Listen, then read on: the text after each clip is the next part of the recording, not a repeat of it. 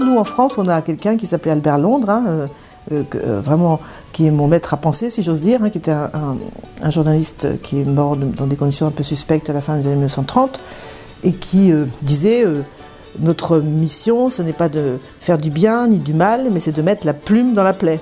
Mari Monik Roben kazetaria da. Mundu mailako ospea lortu du zenbait dokumentalekin. Horietan famatuena mundua Monsantoren arabera izenekoa da.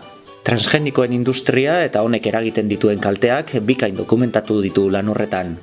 Elkarrezketaren zenbait pasarte dituzue segidan.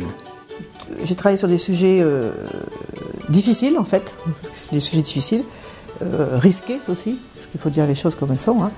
Euh, eh bien, je me suis fait euh, beaucoup d'amis partout dans le monde, parce que ça, je le vois tous les jours, mais quelques ennemis très, très, qui ont beaucoup de pouvoir. Je suis très contente, quoi, parce que c'est pour ça que je fais ce métier. hein. Donc, euh, euh, Albert Londres disait mettre la plume dans la plaie. Ben voilà, moi, moi, je trouve que vraiment, je très, évidemment, c'est une grande satisfaction, hein.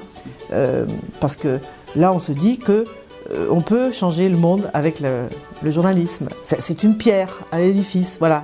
Et, ça, moi, j'es- j'espère aussi que, enfin, c'est- pour ça aussi que je fais des films, c'est que je voudrais que ces films servent d'outils pour que les gens puissent se mobiliser, voilà, et, continuer à mon travail en fait d'une autre manière, quoi qu'on peut euh, décider de manger autrement, euh, de boycotter des produits euh, qui ne sont pas éthiquement responsables. hein.